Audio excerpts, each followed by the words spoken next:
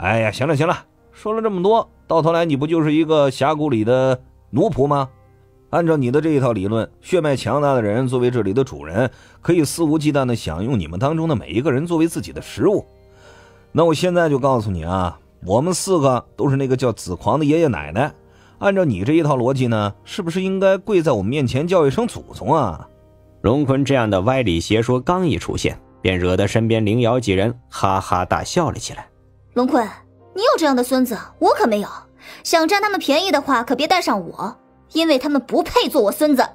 凌瑶突然间又补上了一波三倍暴击，分分钟让这波嘴炮彰显出了无与伦比的杀伤力，也让面前这刚刚还是一脸骄傲模样的古王所有的颜面荡然无存。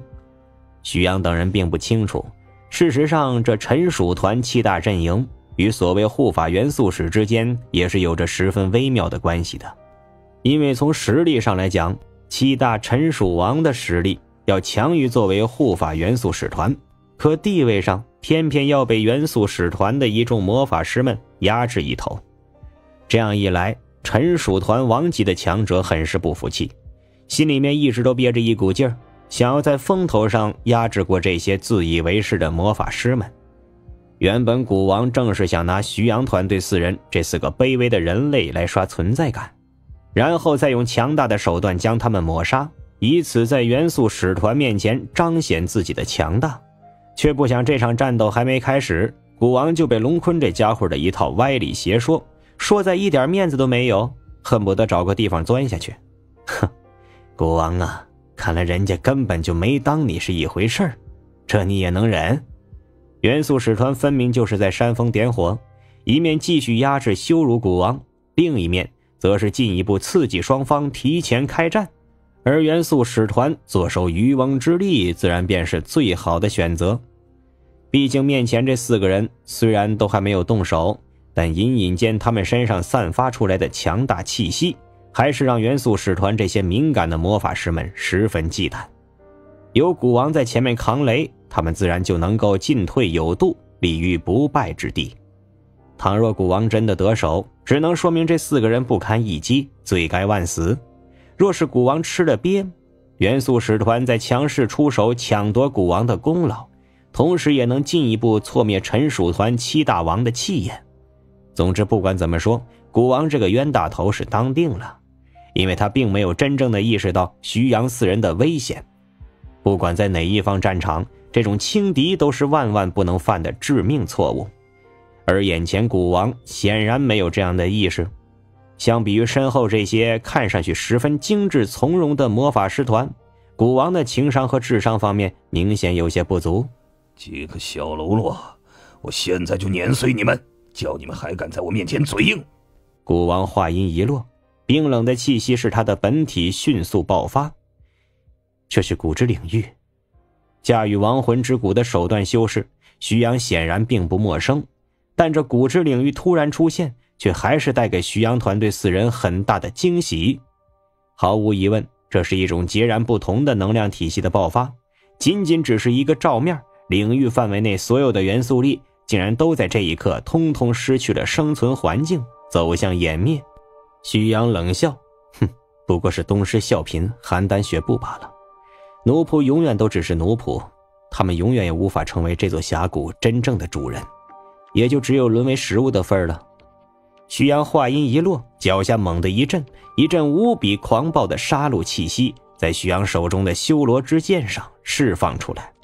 曾几何时，徐阳一度能够将这修罗剑道的杀戮之势提升到顶点，但真正的杀伐之道，徐阳已经很久没有再使用过。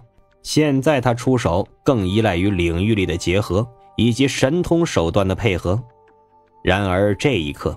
徐安心中却仅仅只是升腾起了无尽的杀意，他就是要让面前这自以为是、防御力惊人的古王明白，在绝对的杀戮之道面前，任何防御都仅仅只是毫无意义的反抗。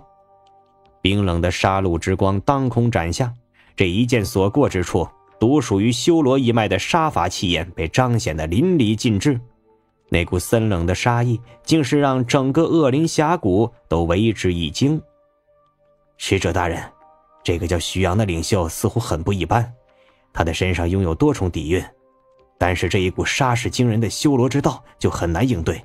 我们需要提前做出应对准备吗？就在下方战场有了动作之后，那些始终处于观望状态的魔法师元素使团也兴起了些许躁动。身边那个副统领毕恭毕敬地对面前这个斗篷领导者开口询问：“根本没有这个必要，古王不是自以为是很久了吗？就让他明白什么叫做天高地厚吧。现在我有一件要事要交给你去办。”彼时，徐阳这一件惊天之力完全爆发了出来，澎湃的杀之气焰更是无可阻挡。而那愣头青古王偏偏打算用自己强大无比的肉身防御力扛下这一剑，此刻却因为这样愚蠢的决定遭到了难以想象的压力侵袭。该死，这家伙到底是吃什么长大的？劈出来的这一剑竟然如此狠辣，连我的肉身都险些被这一剑的力量完全崩碎。古王咬紧牙关，忍不住开始咒骂起来。他倒是做梦也没想到，自己有一天会被一个卑微的人族压制成这番模样。更重要的是，此刻元素使团也在场。如果自己要是啃不下这块硬骨头，那么日后在七大王面前，陈蜀团阵营的颜面恐怕就是真的荡然无存了。看来你真的是最爱作死啊！今日我不将你碎尸万段，我古王这两个字就倒着写过来。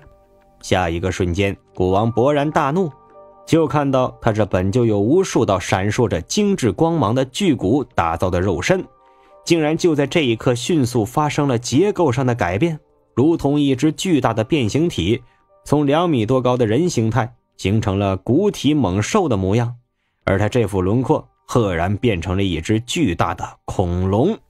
你可听说过古龙的名字？